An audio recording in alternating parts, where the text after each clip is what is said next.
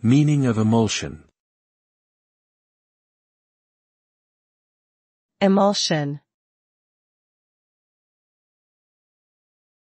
Emulsion. Emulsion. Emulsion. An emulsion is a mixture of two or more immiscible substances that are typically in the form of liquids. These substances are usually composed of water and oil, which are held together by an emulsifying agent such as a surfactant. The result is a stable, homogeneous mixture that appears like a single substance but contains both water and oil components. Emulsions are commonly used in food, cosmetics, and pharmaceutical industries for their ability to improve product texture, stability, and appearance. They can also be used as delivery systems for drugs or nutrients.